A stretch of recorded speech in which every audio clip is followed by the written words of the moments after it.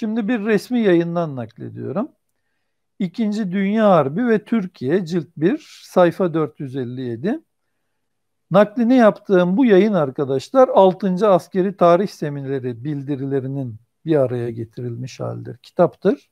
Yayınlayan Genelkurmay Başkanlığı'nın kendisidir.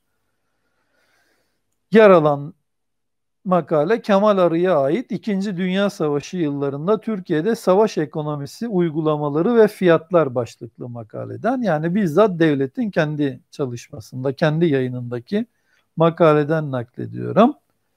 Diyor ki Türkiye savaşa katılan ve katılmayan ülkeler arasında yani dünyanın bütününde savaşa ister girmiş olsun ister girmemiş olsun fiyat artışı ve hayat pahalılığı açısından ortalama yüzde 363 rakamıyla birincidir. Yani yerle bir olan Almanya var.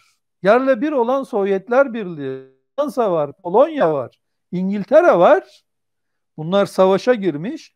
Baştan sonuna kadar kimisi yüz binlerce İngiltere gibi, kimisi milyonlarca, 10 milyona yakın Almanya gibi ölü vermiş. Şehirleri yerle bir olmuş ülkeler. Bunların hiçbirisinde Türkiye'de yaşanan enflasyon ve hayat pahalılığı, fiyat artışı yaşanmamıştır. O tarihte dünyada 50-60 civarında bağımsız devlet var. Türkiye bütün bunların arasında fiyat artışı ve hayat pahalılığı açısından dünya birincisidir. Yüzde 363 rakamıyla. Belki merak edenler olabilir. İkinci kimdir? Hindistan'dır. Yüzde 203 fiyat artışıyla. Yani birinci ile ikinci arasında da yüzde 50'lik bir uçurum var. Türkiye tur bindirerek açık ara farkla birinci ülke oluyor. Harbe girmediği halde. E şimdi rakamlar böyle olunca buradan yola çıkacak siyasi bir sorumluluk olmayacak mı? Bu sonucun hesabının sorulacağı siyasi merci yok mu? Hükümet yok mu? Var. Kim?